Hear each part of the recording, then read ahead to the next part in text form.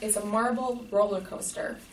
And as you see, I have some really fun little foam tubes. These are actually in the electrical section of stores like Lowe's and Home Depot. There's different sizes, and so you can get a variety of different, sizes, or your classic foam pool noodle. You'll notice that some of these are cut in half.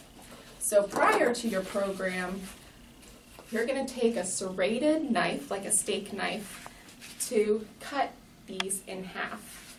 This will be for our marble roller coaster. Here you can also see some other electrical supplies. These are tubings, different sizes, different shapes.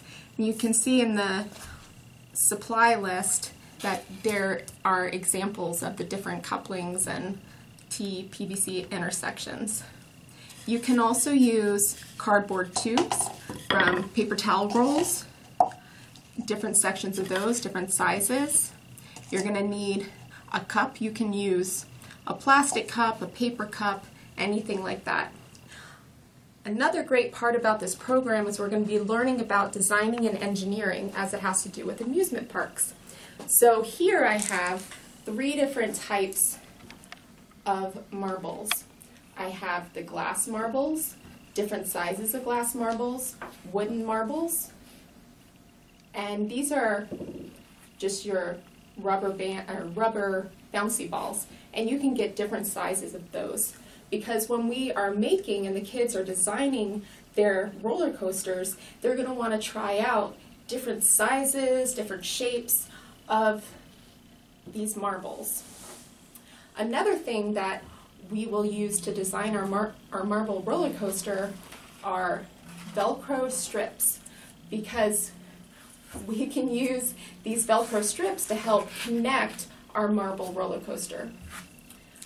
Another thing we will need is tape because we will use our tape to connect our roller coaster and also put it against the wall. You'll see that I have electrical blue tape or you can use painter's tape. The reason being is that this type of tape, the painter's tape, will not tear on your wall because the last thing we want to do is leave marks on the painted walls in the classroom.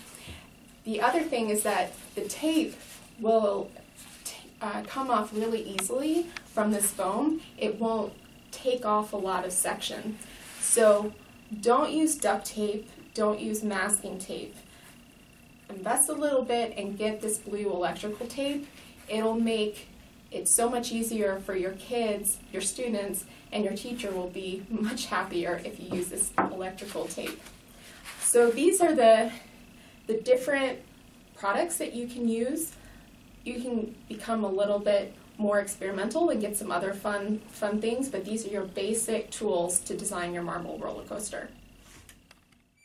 So the students will work in groups to build their marble roller coaster because it works a lot better if they have various people working together so they can tape on the, the foam insulation they can hold it up into different angles.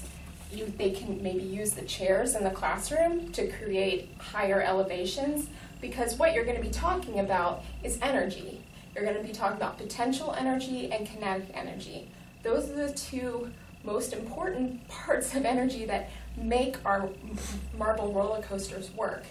Because as in a roller coaster, as that car goes up the hill, it's building that potential energy. Once it hits the top and goes down the roller coaster, it turns into kinetic energy. So it's just this constant flow of potential energy turning into kinetic energy. So here, I've taken this foam tube and only sliced off the bottom portion because I, I like the idea of it going through a chute before it goes through the marble roller coaster. So let's see and that flows really quickly. You can see that that kinetic energy has built up so much. So once you have the foam insulation, the tube put up, they can start testing with different types of marbles. So I'm just gonna let this go through the chute and it just takes off. So you can see that it's built up a lot of kinetic energy and that motion just shoots it off. So we can start to add other elements to our roller coaster because we know that energy has built up so much. So I'm going to try putting this tubing here, the PVC, and then the coupling right here because I want to see if I can get it to go in that other direction. and so it takes that turn. So it can be really fun using the different elements, the cardboard tubes, the PVC. You can use, like I said, the chairs, and see if you can actually make it jump. You have it, the kids can try holding up this and see if they can make it have a turn. So there's so many different things that they can do with this marble roller coaster. A really fun part of this program is to have the students try to make a loop in their foam roller coaster.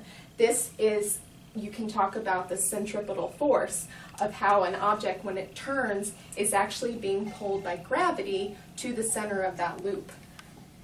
So here, used the Velcro to be able to make it easier to attach and keep that loop in place. So let's see if this works. And again, they're going to have to try this over and over. And there, what?